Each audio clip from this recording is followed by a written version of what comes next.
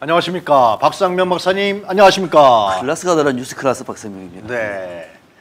클라스가 훨씬 높은 심도 있는 깊은 제대로 얘기하는 네. 박상면 박사의 뉴스 클라스. 오직 국민만 바라보는 국민. 좋습니다. 자 하여튼 뭐 에... 이준석 얘기부터 아 이준석이 제가 저 자, 한- 한동훈 한동훈 얘기하고 조응천 얘기하다가 네. 그러니까 아까 아, 댓글 보니까 아니 거기 어떻게 히틀러를 비유해 혈압, 혈압 오르는 분들이 많아서 또 걱정이 아니 박사님 잘 아시죠? 어떻게 국민투표가 히틀러가 총통에 특이한 거로 옛날에 봐. 그 코미디 프로그램에 네. 아무 말 대잔치라고 있었어요. 악마의 대잔치요? 예, 어. 예.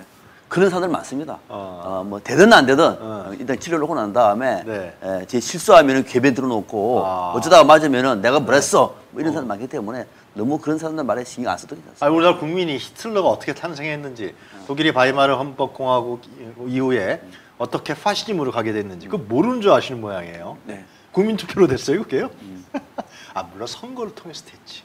그래서 대- 민주주의에서 선거라는 방식이 이제 위험한 가능성이 있는 건 있죠. 그러나 총통될 때 그래서 그 전체주의이기 때문에 지금에 하는 그 민주당의 전국 당원 투표가 그런 히틀러 방식이라고 궤변을 늘어놓은 그러니까 상황이 형식만 알고 내용을 모르다 그렇지, 보니까 그렇지. 예, 형식만 아는 거예요.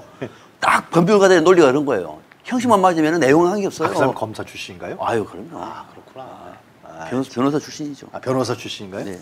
검사는 안 했었나요? 그건 모르겠습니다. 그건. 관심 별로? 별로 별로 관심을 안 가져서. 네. 알겠습니다. 자 이준석 얘기 좀 할까요? 네. 자 이준석의 자필 탄원서 절대자 얘기가 나오고요. 네. 또 전두환 얘기가 나오고 네. 신군부 얘기 나오고 그 하여튼 뭐. 아 이거 어떻게 봐야 됩니까? 하여튼 뭐 정상적인 정당이라 그러면 이준석 대표가 훌륭한 사람 우리가 얘기할 수 있겠지만 네, 네. 상당히 비정상적이고 비상식적인 정당에서 벌어지는 문제이기 때문에 우리가 자세히 좀 볼 필요가 있습니다. 네, 오늘 저희가 이 이준석 전 대표의 네. 자필 탄원서를 처음 주제로 뽑은 이유는 뭐냐면은 네. 뭐 이게 내용이 옳다 옳지 않다 뭐 지지한다 반대한다 이런 어떤 단순한 논리가 아니라 이 탄원서에 담겨 있는 메시지가 무엇인가 무엇을 지향하고 있는가를 한번 파악해 보기 위해서 한 겁니다. 네. 우선 이번에는 어, 지금 법원에서 가처분 신청이 지금 심리 상향 상태에 있지 않습니까?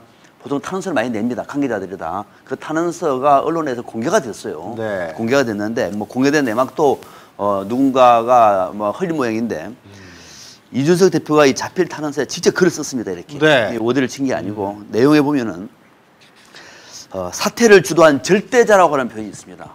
사태를 아, 절대, 절대자. 절대자 그러면 무슨 종교에서 나오는 거 아니에요? 그러니까 저, 저도 이 절대자 독재자라고 말을 쓰자고 절대자라고 말 쓰고 있는 것도 좀, 좀 이해가 안 되는 게 절대자는. 음. 왕정 국가에서 아.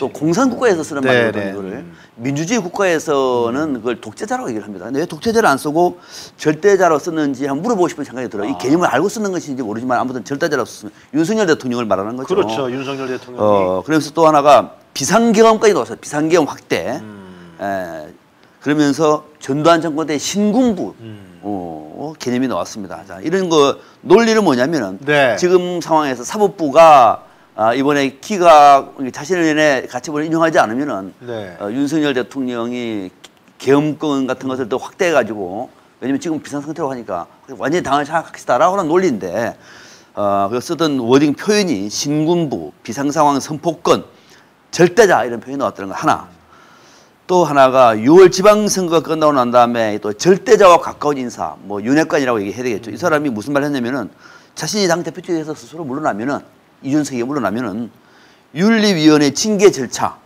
경찰 수사 절차 다 정리해 줄게.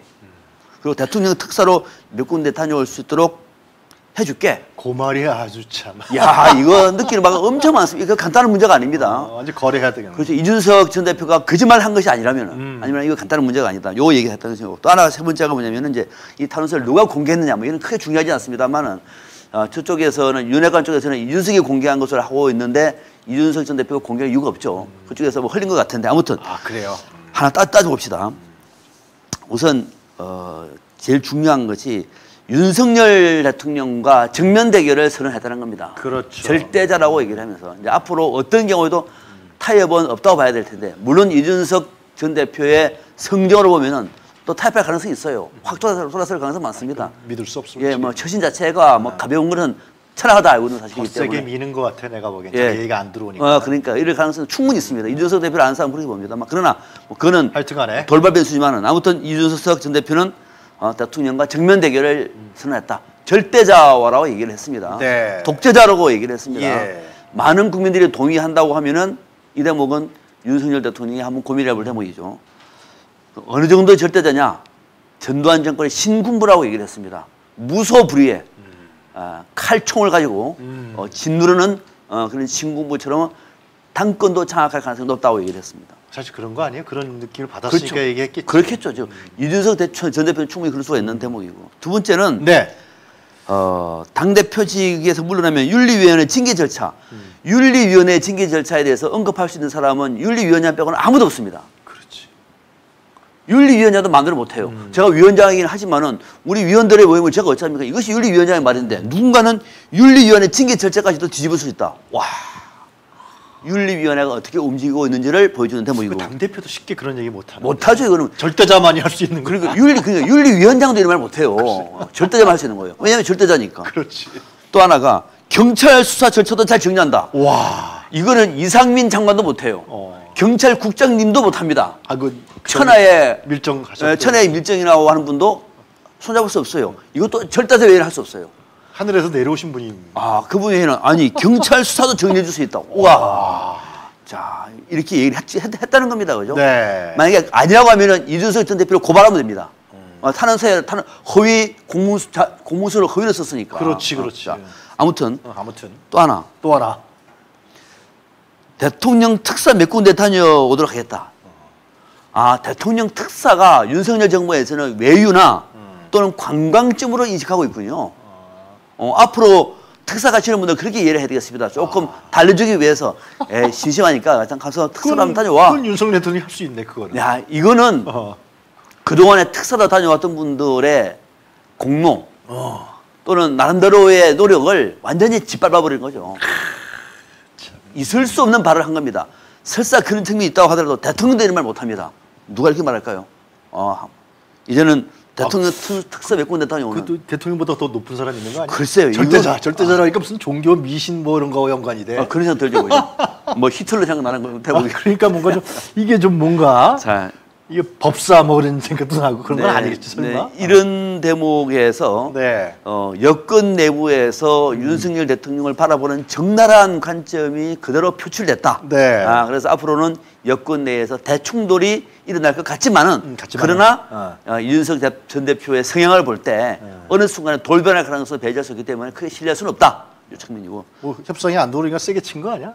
어, 어, 난 그런 같아, 있어요. 그런 거 어. 그런 점이 있습니다. 자, 두 번째. 두 번째. 그러면은 이준석 전 대표가 왜 이렇게 세게 나가느냐 이거 어. 한번 짚어볼 대목이 있는 거죠. 뭐 심심해서 미워서 이런 차원이 아니란 말이죠. 예. 왜 할까? 제일 중요한 거 윤석열 정부 안에서 어, 정부 안에서 범여권 안에서 반 윤석열 진영을 만들겠다. 딱 그거 쓰시는 거죠. 그렇지, 그렇지. 어, 왜? 그 온라인 뭐 플랫폼 정당 만든다 그렇죠. 그랬죠. 왜? 윤석열 정부가 무너지고 있다고 보는 거예요. 아, 윤석열 정부가 잘 나가면은 지가 죽죠. 그렇지. 어, 그죠? 아직 임기 초기인데 음, 조만간 무너질 것 같다. 아 그런 판단을 하는 거야. 딱딱 펑. 예지력이 좀 있네. 어, 그렇죠. 그런 정치인입니다. 그죠? 정치 경력 10년이에요. 간단치 않습니다. 그렇죠. 대표. 예, 그리고 정무 감각은 저도 인정할 정도입니다. 아. 같이 방송도 많이 해보지 않았습니까? 그랬어요? 인- 어, 방송 많이 같이 많이 해봤습니다.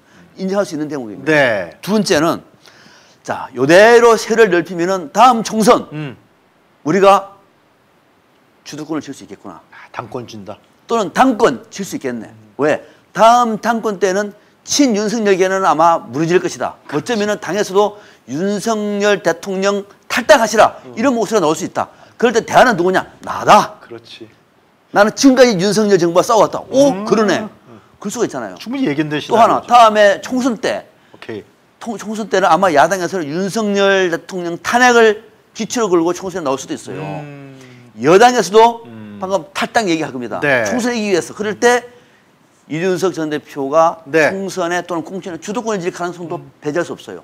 그 포석을 위해서는 지금 철저하게 싸워야 됩니다. 음. 두 번째 이유입니다. 세 번째 또 뭐가, 뭐가 그러냐. 처음에는 조금 기가 죽었는데 요즘에 여론을 보니까 윤석열 정부와 윤핵관에 대해서 여론이 아주 안 좋네. 음. 오, 이들과 싸우면은 이길 수 있는구나. 한번 길게 보자. 길게 보자. 전에 이명박 때 박근혜가 딱 그거예요. 아, 여당과 길게 보자. 야당했잖아. 예. 여론이 나한테 오적이다. 싸우면 싸울수록 이길 것이다. 그래서 모든 방송, 언론, 유튜버 뭐 뭐 뭐 되는 다 나가지고 막쓱 때리는. 아, 지금 국민의힘은 정신이 없을 겁니다. 왜요? 그러다가도 아니 이- 이준석 때문에 이적 때문에 이준석 때문에 말이 얼마나 많습니까? 그렇지, 또 잘해, 말은. 아, 마- 말도 엄청 스피드하게 나처럼 빠릅니다. 박사님은 점잖지. 아 그렇게 하면서 해대니까 아 이렇게 때리면 때릴수록 음. 자신에 대한 지지율가 네. 또는 국민의 관심이 고조되는구나. 이거 괜찮은 성무수다. 막 때리고 있는 겁니다. 요 세 가지 배경 때문에 요즘에 이준석 전 대표가 여권 안에서 말 그대로 난리를 치고 있다. 이렇게 보시면 아, 야심이 만만해 자기 대통령 되겠다는 거 아니야 나중에? 예? 뭐 그거는 좀 뒷얘기니까. 그러니까, 네. 예, 예. 알겠습니다. 아유. 이렇게 분석해 주는 언론이 없어. 그냥 그, 네, 그렇죠. 없어서 그냥 네. 뭐 어쩌니 저쩌니. 이준석 뭐, 정신 차려라. 뭐 그런 얘기만 아, 하고 뭐, 말인데. 어. 어, 뭐, 너, 너만 잘난 거 아니다. 이런 어떤 자, 준우. 그럼 이제 오늘의 주인공 많죠. 취임 100일을 맞으신 아, 네. 한동훈 칼잡이 장관에 대해서 네, 한번 네. 좀 분석을 해볼까요? 네, 네. 아까 제가 압수수색 일지는 쫙 말씀을 드렸는데요. 이 국회에서 말이죠. 어, 이 제대로 붙고 있어요. 네, 네. 일국의 장관인데 어른 그런 막말을 하십니까? 하면서 최강욱 의원한테 어, 참뭐 하면서 최강욱 의원한테 가해자래. 어?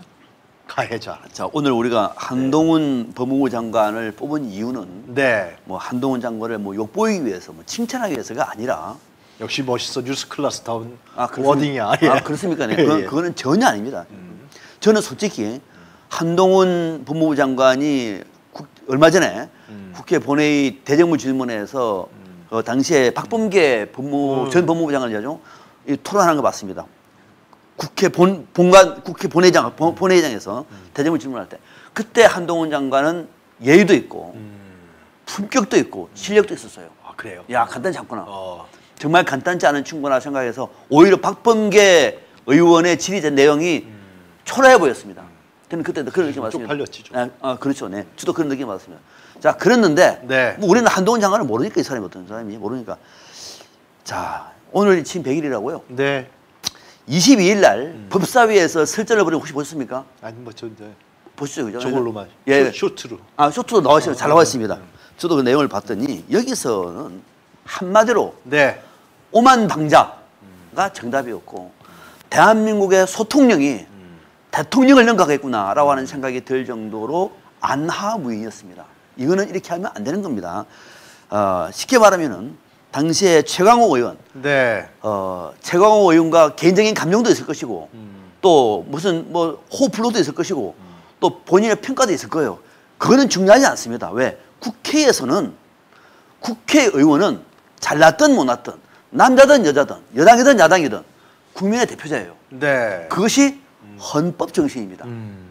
그러면은 그 헌법 정신에 따라서 대기관이 국회에 가서 행정부 장관이 가지고 답변을 한다는 얘기는 국민 앞에 답변을 한다는 것이에요. 국회의원 개인의 질문이 아닙니다. 설사 개인의 질문이라 하더라도 국민의 질문으로 봐야 되는 거죠. 그것이 의회 민주주의의 기본 아닙니까? 근데 그 사람은 자기가 지금 박사님이 얘기하신 아주 지극히 상식적인 거 아니에요. 네. 그 헌법에서 규정하고 있는 네, 거고 네. 지극히 상식적인 거는 아예 잊어먹고 나는 최고다. 국회의원들 니네들 걸리면 나한테도 나중에 감옥 가. 어? 국민은 아예 그냥 안중에도 없는 것 같아 아주. 네, 이런 거 이런 상황에서 당시 네. 했던 발언 내용을 보면은 네. 그거 뭐 계속 말씀하세요. 그렇지. 어, 뭐 이런 계속 말씀하세요. 당신은 안 그렇습니까? 이렇게 말 그대로 썰전을 하는 듯한 또는 말대꾸를 하고 말꼬리를 잡는 이런 식의 발언은 한마디로 말하면 최광호 의원이 아니라 국민을 어, 폄하하는 것이고 의회 민주주의를 짓밟는 행위입니다. 국민을 우습게 하는 거지 한마디로. 아 이거는 있을 수 없는 일이고 음. 더 나아가서 자신한테 대해서 소리를 지르는 최강호 의원에서 일국의 법무부 장관이라 그랬습니다. 일국의 법무부 장관. 한동훈 장관은 박, 어, 이전에 문재인 정부 때 추미애 장관한테 일개 장관이라 그랬어요. 일개 장관.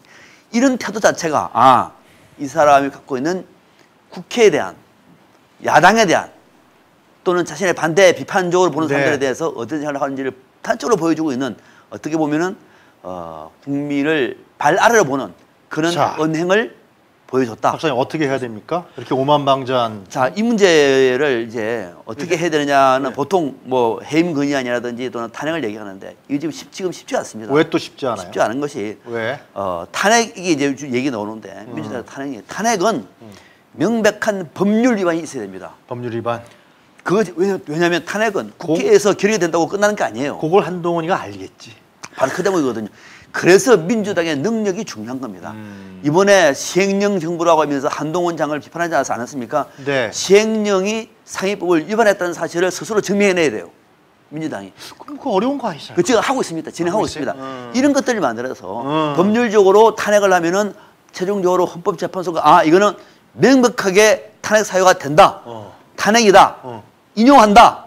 라고 하는 내용을 낼 수 있게 그 만들어내야 되거든요. 아니 밤새고 치열하게 고민하고 말이지. 그러면 그 민주당의 그 율사 출신들 많이 들어가 있는데 왜 안 해? 아마- 한다 한다 그러면서 뭐 하고 있다 맨날 그래. 그래서 뭐 이제 이렇게 해가지고 철저하게 국민들도 보면 아 그거는 탄핵 사유가 되는구나. 음. 그래 돼야 되거든. 막판에 네. 헌법재판소가 안 한다고 하더라도 국민들과 공고하면 되는 거예요. 그럼 정책이에요. 어. 그럼 헌법재판소도 따라가게 돼 있다. 아, 박근혜도. 그랬거든 박근혜 때. 또 설사 국민들이 공감했는데 헌법재판소가 헌법재판소 법률적인 요건이 강하니까 음. 설사 기각된다고 하더라도 민주당은 할수 있는 거 다 하는 거예요. 그렇지. 렇게 위해서 지금 한동훈 장관이 어떤 법률적인 음. 어, 위법 행위를 하고 있는지를 철저하게 조사를 해가지고 결론을 만들어내야 될 것이고 또 국회를 모독하는 이런 문제와 관련해서도 그냥 따지고 훈계하고 평론만 할 것이 아니라 여기에 대해서도 오해주의를 모독하는 문제와 관련돼서도 민주당은 나름대로 법적인 어, 헌법을 을 인용을 하더라도 어, 법적인 문제점을 준비해 놓을 필요가 있다. 그래서 경우에 따라서는 바로 탄핵 절차를 밟는 것도 하나의 방법이겠다는 생각이 듭니다. 아니 그러니까, 그러니까 뭐 이상민 탄핵 그다음에 한동훈 탄핵 얘기 나왔을 때 민주당에서 쭈삣쭈삣했잖아요. 근데 내가 봤을 때는 그 국회 상임위에서 모욕당한 거거든. 치욕적인 거거든. 네. 어? 어?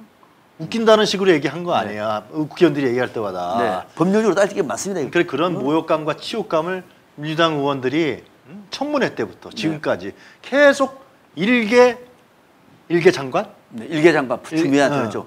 그 장관한테 당하고 있어. 네, 네. 자기네들은 국민의 대표, 국민이 뽑아 뽑아준 사람인데. 음. 어?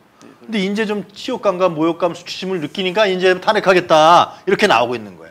말만 탄핵 탄핵했지 지금 박사님 얘기한 대로 그런 정치력을 발휘할 수 있는 어떤 능력, 공부, 연구, 탄핵 사유가 되는지 이런 거에 대해서 밤새고 좀 공부도 안 해, 연구도 안 해 도대체. 네, 이제 수욕 내가 봤을 때는 진짜 진짜 수치심 느꼈겠어. 그러니까 민주당에서도 정말 당부하는 얘기는 네. 이런 문제가 아직까지는 성숙이 안 됐다고 하더라도 앞으로 많이 나올 겁니다. 나오지요. 어, 법률적으로 문제가 되는 것들 음. 또 국민 정서와 교감이 될 수 있는 부분들을 축적을 해서 해서 칼을 뽑을 때 제대로 뽑고 어설픈 칼은 뽑지 마시라. 아, 말씀 국회. 국회 권력이 무서운 걸 보여줘야 돼요. 예? 여러분 만약 오해 민주주의와 음. 어, 야당의 권위를 어, 어떻게 보면 정말로 무시하는 어, 그런 어, 오만 방자한 모습이었던 그렇게 분명해 보입니다. 그렇게 수- 어, 모욕을 당했는데도 가만히 있어? 그럼 또 뭐 협상하자는 거지 그럼 뭐. 그래서 아마 이재명 의원한테 표가 몰리고 있는 것 같습니다. 맞습니다. 그런 예, 많이 들었습니다. 맞습니다. 그래서 예. 이런 상황 속에서 도저히 참을 수 없다. 음. 아, 그래서 강력한 리더십이 나와야 된다는 생각 때문에 아마 이재명 의원 쪽으로 표가 몰리고 있는 것이 아닌가 싶은 생각이 들 정도로 어, 이번에 한동훈 장관 해도 네. 너무했습니다. 며칠만 기다리세요. 이제 민주당 아, 전당대회가 네. 지금 얼마 안 남았으니. 자 마지막 주제 혹시 간단히 얘기할까요? 자, 그... 마지막 주제는 이거는 조금 우리가 한번 논쟁을 해볼 대목인데 아 그래요 이제 어, 그 패션 잡지 청와대 보고- 지금 청와대 음. 청와대에 패션 잡지 보고라고 있지 않습니까? 예, 보고라고. 유명한 잡지죠, 뭐. 유명한 뭐말 그대로 뭐 예술 작품을 만들어내는 음, 잡지라고 볼 수 있는 대목이죠. 어, 청와대를 배경으로 해가지고 청와대 그리고 패션이라고 하는 화보 32개를 공개를 했어요. 아, 근데 이- 이것이 우리 문화유산 방문 캠페인 일환으로 문화재청하고 같이 이제 협업을 했다 그러는데 네. 어, 어제 인터넷에서 뜨거웠습니다. 아 이거 이거 논쟁이. 예, 안 보셨죠? 저는 봤습니다. 그걸 아, 이 취재를 그래요? 하면서 뜨거웠는데 아 새롭다. 아 청와대를 알리는 좋은 계기였다는 사람도 있고 반대로 반대로. 반대로 이게 뭐냐 아. 국경 국경 망- 나라 망신시켰다. 어. 아, 청와대가 이런 이런 거 하라고 뭐 만들어진 거냐? 시청자분들 어떻게 생각하시는지 한번 채팅방에 글을 달아주시면 좋겠습니다. 어 좋겠습니다. 예. 근데 예. 했는데 팩트는 정확한 거는 네. 어제 이 패션에 보니까 음. 낯선 드레스를 입은 사진이 많았고요. 아. 특이한 옷을 입은 사진이 많이 드레스도 아니고 한복도 아니고 하여튼 알수 없는 음. 어, 언론 인터넷에서는 어, 어, 어떻게 어떻게 보면은 일본의 전통 의상 비슷하다. 네. 뭐 이런 사람이 많, 음. 많았고 또 영빈관에서 들어 누워 있는 사진도 있었습니다.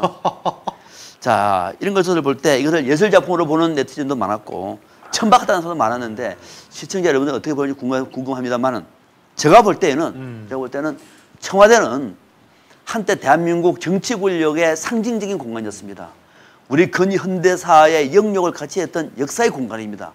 이런 공간에 한복 같지도 않는 한복을 가지고 문화재를 홍보한다는 이름으로 상업 잡지에 이런 화보를 올리는 거죠. 과연 그것이 어, 문화재 청- 문화재를 알리고 한복을 알리는데 도움이 됐느냐? 전혀 그것이 아니다. 음. 그것을 바라보는 제 느낌은 상당히 불쾌했다. 어떻게 보면은 일제 시대 때 1909년에 음. 창경원을 허물고 동물원을 만들었던 일제의 모습이 그대로 떠올랐다. 박정현 비서관이 그 얘기를 했더만. 아 그렇습니까? 예, 네. 예. 네네. 그런 생각이 들 정도로 정말로 민망하고 부끄럽다는 생각이 저의 생각입니다. 그리고 창경원 동물원을 만들어 버렸죠. 그들이 대한제국의 네, 그때도 신선했죠. 네. 그죠? 동물원이요? 아니 표현하면 지금처럼 아, 이- 일부 그렇지, 그렇지. 일부 언론들은 신선했다고 얘기했는데 어. 그때 얼- 기린도 보고 코끼리도 왔는데 누가 바뀌었습니까? 얼마나 신선했겠습니까? 아 그거 딱딱 연상이 되네 정말. 네, 저는 그 느낌이 들었습니다. 그리고 어, 하여튼 청와대 나오셨는데 두 분께서 안 들어가신다 그래갖고 네. 청와대 나왔잖아요. 네. 그런 다음에 이번에 어제도 보도가 됐습니다만은 그 아크로비스타 네, 헬기가 착륙 시설이 안 된다는 거 아니에요. 네, 폭우가 터졌을 때 제가 오늘 아침에 얘기할 게 많아서 커뮤니티 뉴스에서 얘기 안 했는데 폭우가 터졌을 때 국가의 수반이고 행정의 수반이 그 아파트에 갇혀 버렸어요. 끔찍한 얘기 아니에요? 오도 가도 못하는 거예요. 그- 헬기 헬기도 옥상에 안그 돼. 혹시 국가 기밀 아닙니까? 아니 어제 뉴스에 나왔 뉴스에 나왔습니까? 그럼요. 국가 기밀인데? 아, 소방청인가 어, 헬기를 댈 수 없다고 나왔어요. 야 이게 진짜 이게 청와대 청와대 나와서 뭐 어디 뭐 보고 잡지에서나 뭐 사진 찍게 만들고 말이죠. 아니, 예. 저는 사실 그것도 문제지만은 음. 방금 대통령이 그 폭우가 오는 날 뭐 헬기도 중요하지만 저는 더 충격적인 것이요. 음. 그때 말씀드렸습니다만은 대통령이 비가 오는 걸 보고 차를 타고 퇴근하는데 아파트 1층에 물이 장경을 보면서도 집으로 퇴근하셨다는 말 듣고 난 다음에 뒤집어졌습니다. 맞지. 아파트 1층에 물이 들어차고 있는 걸 보는 우리 마- 그런 경우 많지가 않습니다. 일반 국민들도 가면서 어떻게 어쩌나 어쩌나 그것 같은데 대통령께서 아파트 1층에 물이 차는 걸 보면서 집으로 퇴근하셨다는 말씀을 듣고 난 다음에 저는 뒤집어졌습니다. 뭐 누가 기다리고 있었던 모양이지 뭐. 그 국민보다 더 중요한 사람이. 야, 어떻게 어떻게 저럴 수가 있을까? 어. 아니 그것도 그렇고 저는 어제 뉴스를 보면서 야 이게 진짜 그런 상황이 또 발생할 경우에 만약에 또 폭우가 또 올 수도 있는 거 아니에요? 지금 기후 변화 기후이기 때문에 그러면 그 강남 일대가 또 물이 잠긴다고요. 네. 헬기도 안 떠. 아크로비스탄 대통령이 있어. 응? 대통령이 있는 공간이 사원실이라고 하지 않습니까? 그래, 그러면 거기 그- 나오지도 거예요. 못해 들어가지도 못해. 모든 통화 다 거기다 하고 아니 그럼 군부대가 거기를 예를 들면 보호도 못해 그렇잖아요. 아크로비스탄을 어떻게 군부대가 거기 있는 것도 아니잖아요. 네, 야 아주 김정은한테는 기가 막힌 먹잇감이 생기는 거야 이게. 어? 그래서 국가 일거 기밀이라고 그렇게 말씀드린 겁니다. 국가 수반, 행정 수반이 폭우가 쏟아지면은 그 아파트에 갇혀 있는 거예요, 그냥. 예? 이게 어떡할 거예요, 도대체 이런 문제를. 참나 하여튼 아 이거 또 얘기하다가 네. 알겠습니다, 하여튼 예. 예. 또아 오늘 또 중요한 얘기 많이 해주셔. 대기하시는 분이 계셔서 빨리, 아, 빨리 가겠습니다. 너무 오래 하시면 안 돼요. 이 알겠습니다. 유용한 뉴스 코멘터리 여러분들이 나오십니다. 알겠습니다. 박수면 박사님만 나오시는 게 아니에요. 알겠습니다. 예. 오늘 말씀 잘 들었습니다. 네, 감사합니다. 네. 네. 예. 네, 다음 순서 넘어가도록 하죠. 예. 조심 백은종 그 투쟁의 기록 개벽이 출간되었습니다. 윤석열의 등장을 예언한 채 개벽 검찰 공화국을 막아라 무소불위의 검찰을 그동안 아무도 건드리지 못했다. 검찰을 손볼 세력이 어디에도 없었기 때문이다. 하지만 뛰는 검찰에 나는 국민이 있다. 전두환 군부 독재와 이명박근혜 정권마저 붕괴시킨 촛불 시민들이 그따위 검찰 출신 나부랭이들의 폭거에 굴하겠는가? 위기의 대한민국 윤석열 검찰공화국에 맞서 싸운 촛불 시민들의 투쟁의 지침서 조심 백은종 국가와 민족을 위한 그 투쟁의 기록 개벽 여러분의 지지와 성원을 기다립니다. 감사합니다.